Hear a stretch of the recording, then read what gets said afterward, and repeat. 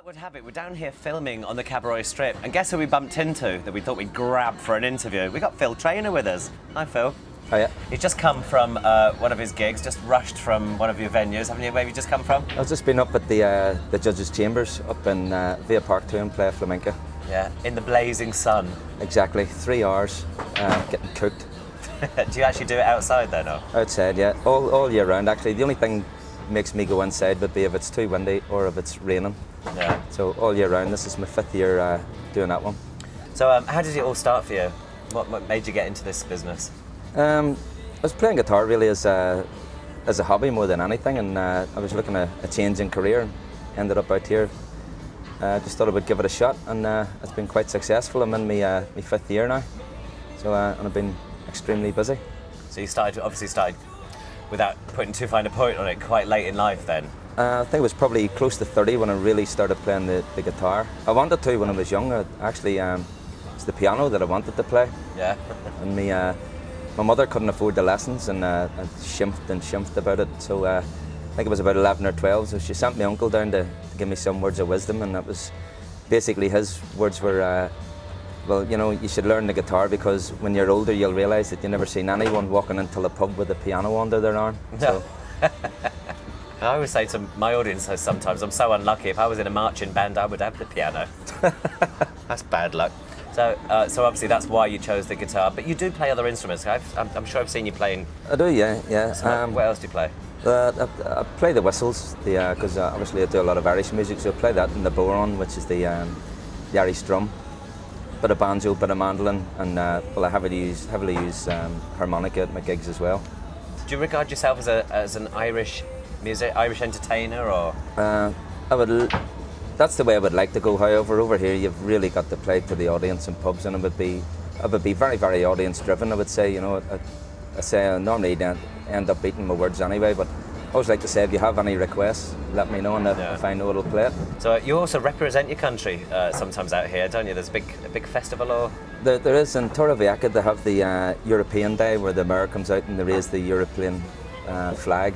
It's a, a commemoration of as well as uh, of uh, Torrevieja becoming a town.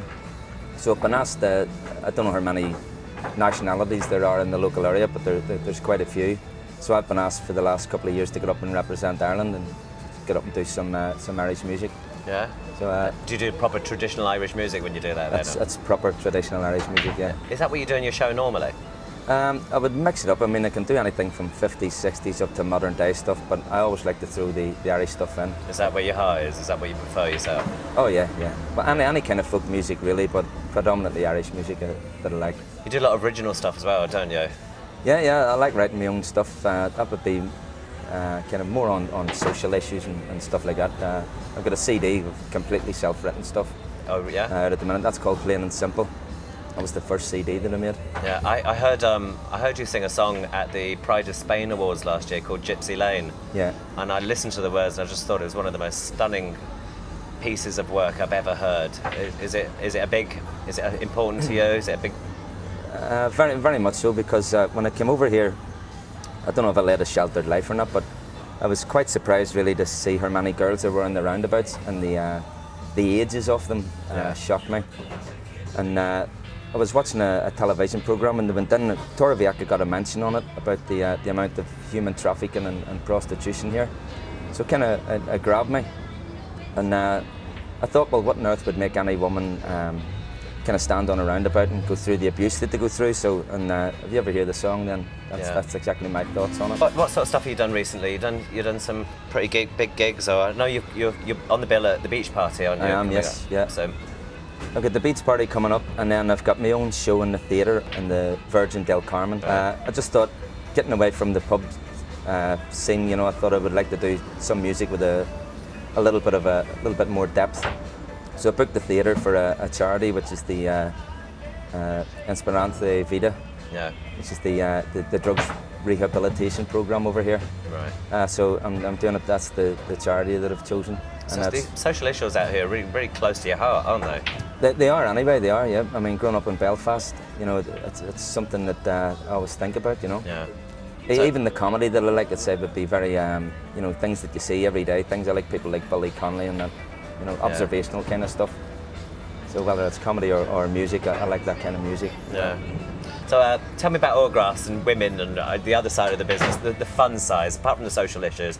Uh, do you, get- you get lots of, you know, being in show business, you get chatted up a lot, lots of women throwing their knickers at you or, or their thongs or... I think I'm getting a bit long in the tooth. Uh, I think I used, I used to get I used to get knickers thrown at me, but being a folk singer, the kind of people that, that, that would come to my gigs, it takes them a while to land, you know, because they're a little bit bigger.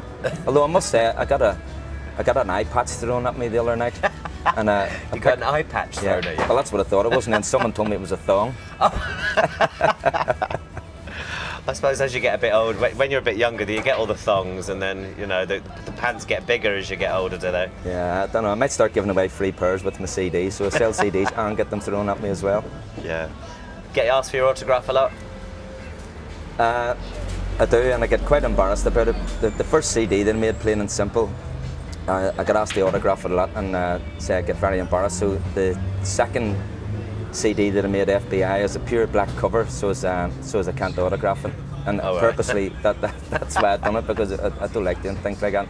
No. However, I went to see um, I went to see Smokie a couple of months ago, and uh, myself and, and Julie McCracken over here decided to go backstage to get a few photographs taken with the band, and uh, they were one of my favourite bands in the uh, in the 70s. So the only original member there is uh, is, is the bass player, and uh, we're getting our photographs taken, and I'm stood chatting away to the bass player, and uh, a woman came up and asked me for my autograph Yeah.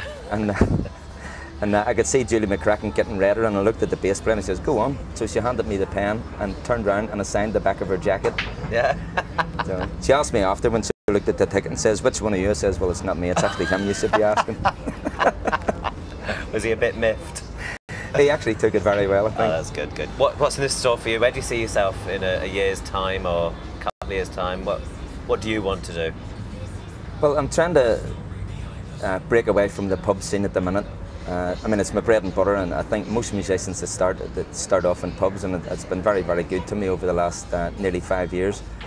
But um, I want to, I want to uh, get into the folk music scene. So I plan in the winter to start uh, playing in the folk clubs uh, around England, starting off, and then Yeah. using that as a, a springboard. Hopefully next summer onto onto some of the festivals. Yeah.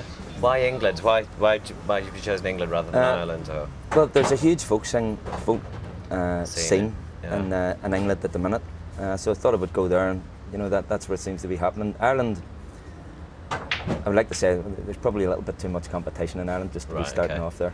You a very talented country. yeah, it's very musically wise. yeah, very very talented. And it's a smaller place, and I suppose yeah, I understand.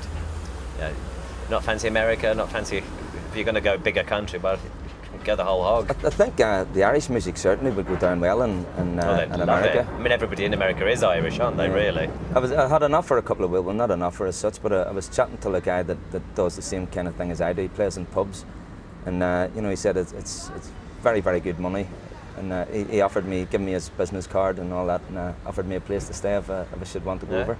Excellent. I'll maybe take him up on that. Yeah. So, um, a couple of questions just before we wind down. Um, what does Phil Trainor do to wind down? If it's, if it's not re- work related, what what do you like to do that's just like complete chill time? Probably listening to music. Yeah. At the minute, I've got two young kids, and uh, I wouldn't say that winds me down. I mean, they're, they're seven and eight. Uh, say hello till them now, Connor and Ryan, hello. So uh, no, they, they pretty much keep me on my toes, and Yeah. when I'm not working as, as much as possible, I like to I like to spend time with them. Yeah. And you do you do that to to wind down? No, they're good. I mean, I must admit they're Yeah. they're, they're good fun. Yeah. good fun. I met them the other day in the supermarket. Carrefour? Yeah, yeah. Very well behaved. you must have caught them on a good day. Oh, really? No, Okay. um, no, I must admit they're, they're, they're good fun, but typical boys. Yeah. Thank you very, very much indeed, Phil Trainor. The Russian in her teenage years, a beauty in her day, was brought to Spain to clear the debts her family couldn't pay. But now she turns her face away and gets into a car. One takes the looks beautiful, the other bears a scar. And no one hears her cry moan, and no one sees her tears. From top hotels to roundabouts, her trail's been plagued for years. So look away and sling abuse as she stands in the rain. There's more to her than meets the eye, the girl on Gypsy Lane.